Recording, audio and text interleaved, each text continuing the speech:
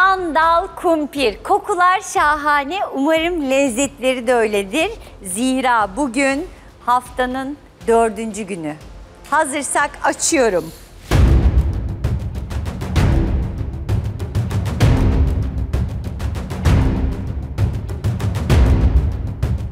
İç harcı olmamış hiçbir şekilde. Baya böyle e, top top duruyor. İç harcını iyi harmanlayamamış mı, vakti mi olmamış hiçbir fikrim yok.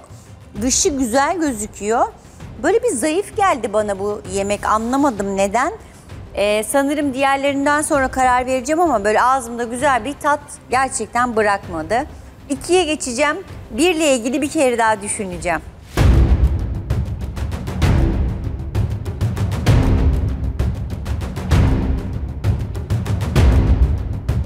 Bak bu birin üstündeki o e, kaşarı malzemeyi yerleştirmesi bu tabakta olsa bu tabak acayip güzel bir tabak olmuş. Patatesi çok iyi pişmiş, iç harcı inanılmaz lezzetli.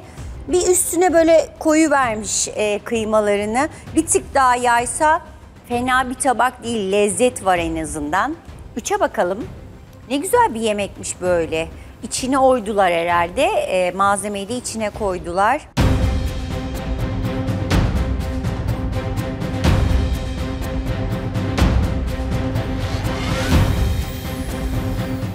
Vay vay vay.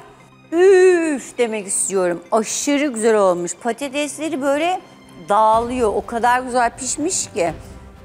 İç harcı, kıymalı harcı da çok iyi. Ve kıymanın tadı, lezzeti inanılmaz güzel. Ve üzerindeki kaşar peyniri.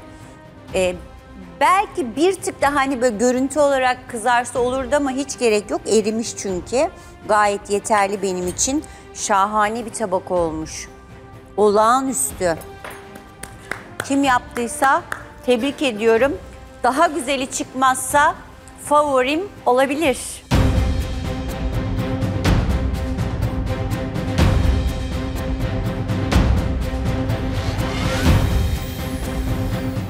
Bu da çok güzel. Bu da çok güzel. Aralarında kıyas yapıyorum yani üçü aşırı beğendim. Bu dördüncü tabak aşırı güzel oymuş e, patatesi. Güzel bir kayık olmuş. Ama iç harcı çok fazla gelmiş ya. Patates daha az kalmış içinde. İç harcı daha baskın olmuş. Ben bu kısmını çok sevmedim. İç harcı fena değil, lezzetli ama üçteki her şey o kadar dengeli ki direkt böyle aklım ona kayıyor yani. Hazırım puanlamak için. Tebrik ediyorum kızları. Çok güzel. Ya bir vereceğim tabak bile aslında birlik gibi değil ama içlerinden en zayıf halka işte bu tabak. Biri vermek zorundayım. O yüzden maalesef biri buna verdim. Bu tabak fena değildi, ortalamaydı. Böyle sadece o üstündeki kaşarını koymasını sevmedim. Üç verelim ona. Üçüncü tabak benim gerçekten ayakta alkışlıyorum. Altı olsa vereceğim bir tabak. Beş veriyorum. Ve son tabağım dördü alıyor. Üç hayatımda olmasa beşi kapardı. Çok güzel olmuş. Harika bir tarifmiş. Yazın hemen bir köşe. Yazmaya bile gerek yok. Çocuk, çocuk çoluğunuza çocuğunuza hemen yapın. Sırasıyla açmaya başlayalım. Önce 3 verdiğim tabaktan başlıyorum. Puanlar çok çok çok değerli. Artık bugün dördüncü gün, yarın bilezikler verilecek. O yüzden haneye ne yazarsak kardır. Bakalım 3 puanı kim cebine koyuyor?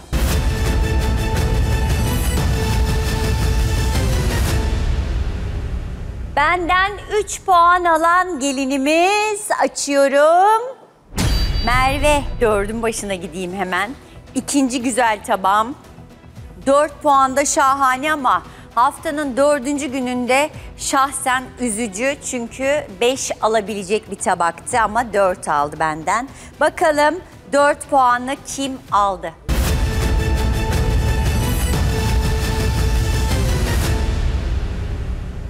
Dört puanın sahibi gelinimiz açtım ve görelim kimmiş. Sibel.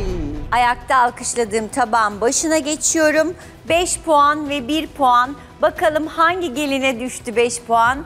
Aşırı değerli bir puan. Gerçekten öyle. Bakalım sahibi kim?